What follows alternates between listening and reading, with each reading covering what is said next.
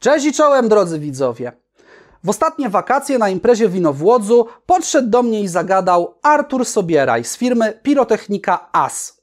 Ci z Was, którzy bawią się w rekonstrukcje historyczne albo gdzieś tam bywali na planach filmów dokumentalnych, historycznych, militarnych, a czasem też sensacyjnych, możecie to nazwisko kojarzyć, ponieważ ten facet i jego firma od prawie dwóch dekad na różnych imprezach są odpowiedzialni za to, żeby było bum, pif paf i zium.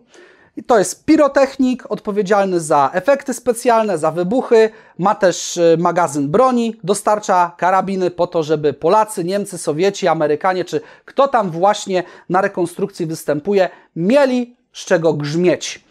No i zaprosił mnie, żebym przyjechał zobaczyć, co też ciekawego jest w jego magazynie. Jako ciekawostkę też dodam, że znam tego człowieka od bardzo wielu lat, bo nawet zdarzyło mi się dla niego pracować, zanim w ogóle powstał ten kanał.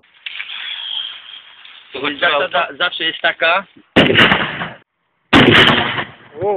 I szczerze mówiąc, nie spodziewałem się, że po tylu latach przerwy nasze drogi jeszcze się przetną. No ale zaprosił mnie, otworzył magazyn i się okazało, że to jest swego rodzaju sezamie, otwórz się. Ponieważ y, po firmie pirotechnicznej, która obsługuje Reko, raczej nie spodziewałbym się w magazynie jakichś fajerwerków. Wiecie, będą Mausery i Mosiny, bo bez nich żadna rekonstrukcja w Polsce się nie odbędzie. No trochę Lienfieldów, fajnie, Steny, Pepesze, do współczesnych produkcji jakieś Aery, Kałachy, Glocki, etc.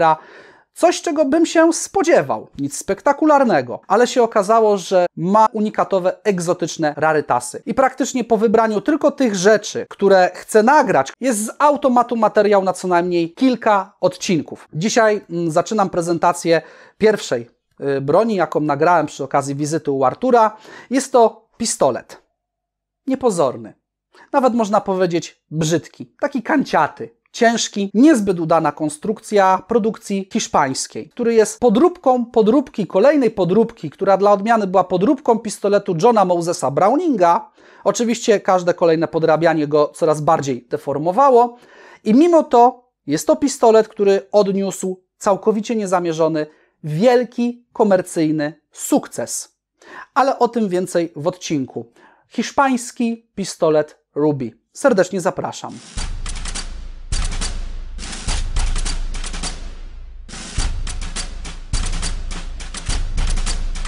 Na początku XX wieku Hiszpania miała całkiem nieźle rozwinięty przemysł produkcji broni ręcznej.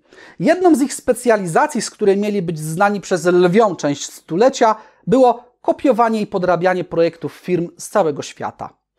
W ostatnich miesiącach pokoju w 1914 roku hiszpańska firma Gabilondo ruszyła z produkcją własnej wariacji na temat Browninga Model 1903. Zasada działania została skopiowana z pierwowzoru i oparta na odrzucie zamka swobodnego, a mechanizm spustowy, tak jak w pierwowzorze, był bezkurkowy, co w tamtych czasach reklamowano jako wielką zaletę w skrytym przenoszeniu, bo kurek nam się o nic nie zaczepi, na przykład o kant kieszeni podczas zdobywania broni.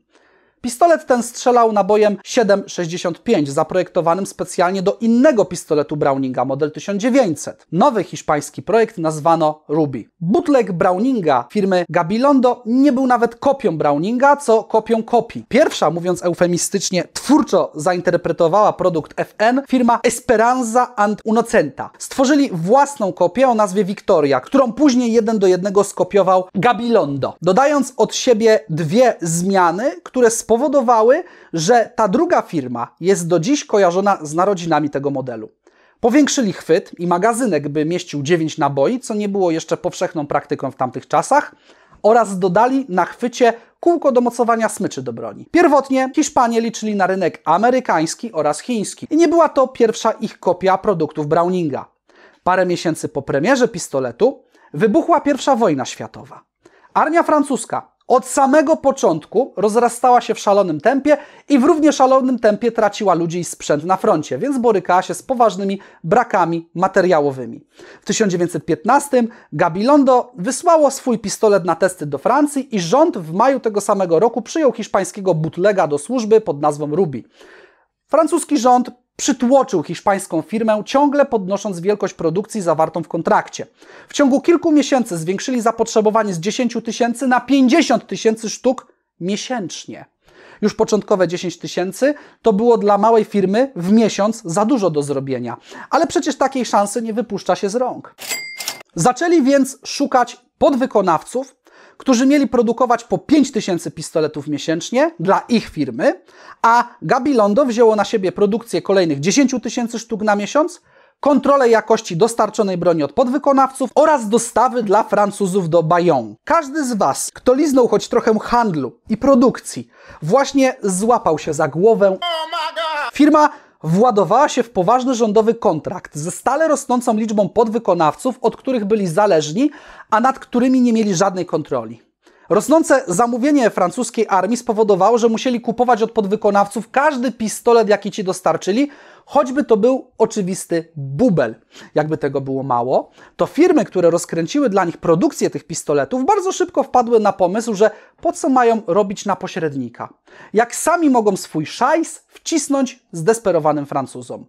Efekt był taki, że rząd podpisał kontrakt z 45 kolejnymi producentami i do Francji popłynął strumień podróbek Rubiego, będącego podróbką Victorii, która była z kolei podróbką Browninga. Oh, baby, a triple! Jak łatwo się domyślić, jakość oraz szczegóły techniczne tych pistoletów wahały się od wiernej kopii, dobrej jakości, poprzez totalne budżetowe śmieci, na próbach udoskonalenia konstrukcji kończąc. Potrafiły różnić się wszystkim, włącznie z długościami lufy, pojemnością magazynka czy nawet kalibrem broni.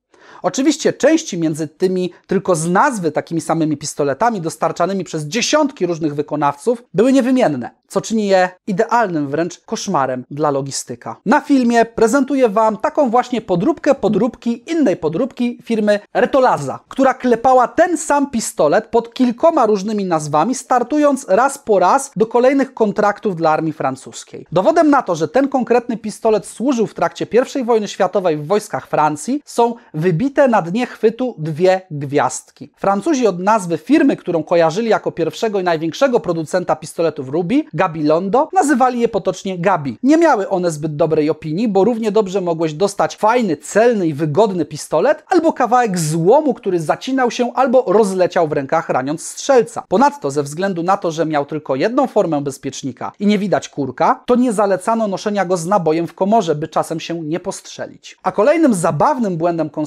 był fakt, że bezpiecznik, który jest po lewej stronie szkieletu, potrafił przy wyciąganiu broni z kabury zaczepić się o kaburę i przestawić, po czym zablokować zamek po jednym strzale. Sami rozumiecie, czemu ta broń nie była kochana. W potoku pistoletów dla Francji Gabilondo wyprodukował najprawdopodobniej między 200 a 300 tysięcy sztuk, w większości dobrej jakości. Wszystkich sztuk od wszystkich producentów wyprodukowano, zależnie od źródeł, od 750 tysięcy do nawet miliona. Wojnę przetrwało około pół miliona sztuk. Ten pistolet wydaje się mały, ale to kawał żelaza. Zwykle o masie od 850 gram, choć były i cięższe wersje. Jest prosty i intuicyjny w obsłudze, co było plusem, ale nie był to najlepszy pistolet swoich czasów. Nie był nawet przyzwoity, ze swym zbyt słabym nabojem do zastosowań wojskowych, ale w wyniku zbiegu okoliczności stał się najpowszechniejszym pistoletem armii francuskiej w Wielkiej Wojnie. Prowodyr całego zamieszania, firma Gabilondo, skończyła produkcję Rubich w 1919 roku, ale inni podrabiacze klepali je jeszcze w latach 30. Armia schowała swe pistolety do magazynów i rozpisała niekończący się konkurs na nowy podstawowy pistolet. Konkurs, w którym odrzucili Browninga High Powera.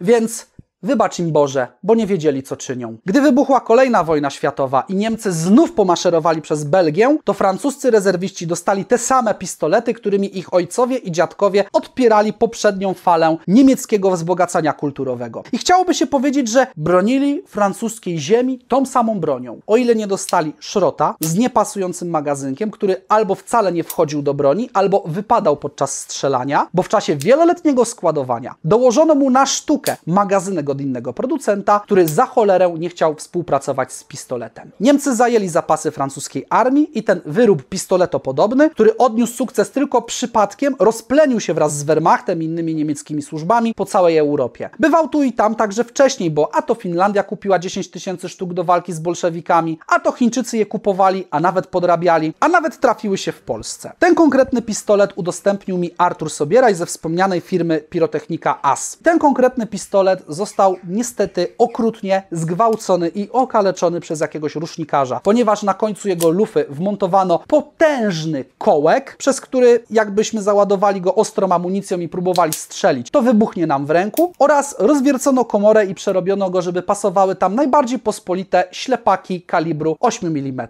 Z jednej strony wielki żal, ale z drugiej strony pomyślmy o tym tak. Pistolet, który został przerobiony, był z punktu widzenia kolekcjonera szrotem. Pordzewiały, z wytartą oksydą, poobijany i do tego z lufą, która jak nawet byłaby niezakołkowana i próbowalibyśmy z niej strzelać oryginalnym nabojem przed przeróbką, to jest ryzyko, że naboje na kilkudziesięciu metrach trafiałyby już w tarczę bokiem, bo ta lufa i tak już była wyślizgana do gołego. A tym sposobem, że ten pistolet został przerobiony na taki teatralny pistolet do strzelania ślepakami, to Artur go kupił, kupił go tanio, wrzucił go do szafy. Jest to o tyle fajna ciekawostka, że na przykład jak w przyszłości bym spełnił jedno z moich marzeń i nakręcił film dokumentalny o partyzantach z 25 Pułku Piechoty Armii Krajowej, i chciałbym pokazać właśnie jakiegoś e, konspiratora, e, który gdzieś tam zasadza się w zasadzce na niemieckiego oficera, e, albo który ukrywa się w domu na wsi, kiedy Niemcy robią obławę, jest ta dramatyczna scena z wyciąganiem pistoletu, to mogę od Artura pożyczyć takiego Rubiego, albo mogę też go przedstawić w rękach na przykład niemieckiego żandarma i będzie to poprawne historycznie i będzie to ciekawostka. Bardzo fajna ciekawostka, bardzo klimatyczna i epokowa. A jednocześnie tak naprawdę na rynku kolekcjonerów normalnej broni palnej ten pistolet byłby szrotem, który nie sprzedałby się nawet za 500 zł. A tak chociaż dostał drugie życie. O tej zapewne też większość z Was by nie wiedziała, gdyby nie gry komputerowe, ponieważ e, ten pistolet wystąpił zarówno w Battlefieldzie 1, który rozgrywa się w czasach I wojny światowej, jak i umieścili go w Battlefieldzie 5 V, nie wiem jak to odczytać, który dzieje się w trakcie II wojny światowej, tam też go umieścili i co prawda mają rację, ponieważ Ruby był używany w jednym, jak i drugim konflikcie. A co ciekawe, armia francuska tłukła te szroty jeszcze po II wojnie światowej, wysyłając żołnierzy z nimi do Indochin oraz do Algierii. Co oznacza, że tak naprawdę w armii francuskiej swą służbę skończył dopiero pod koniec lat 50., a na świecie strzelał jeszcze w wielu różnych miejscach. Bardzo długa służba a w grze umieszczono tak naprawdę w e, Battlefieldzie tym drugowojennym, dlatego że chcieli ponownie użyć model, mieli go z jedynki gotowego, więc tylko zrobili kopiuj w klej, ale bardzo wielu ludzi na świecie dopiero wtedy zauważyło istnienie tej broni, zainteresowało się jej historią i zaczęła się szczególnie w Stanach Zjednoczonych, gdzie rynek broni jest bardzo rozbudowany, e, tworzyć grupa kolekcjonerów, którzy postawili sobie za zadanie zbierać te pistolety podług producentów. I to samo w sobie jest już bardzo ambitnym wyzwaniem. Jeszcze raz dziękuję Ci, Arturze, za udostępnienie tego, jak i wielu innych sztuk broni, które będę sukcesywnie pokazywał na kanale. I mam też nadzieję, że jeszcze zobaczycie Artura i jego broń w innych projektach, które chcę zrealizować jako irytujący historyk i Fundacja Corignis. Dziękuję, żegnam się, dobranoc. Cześć!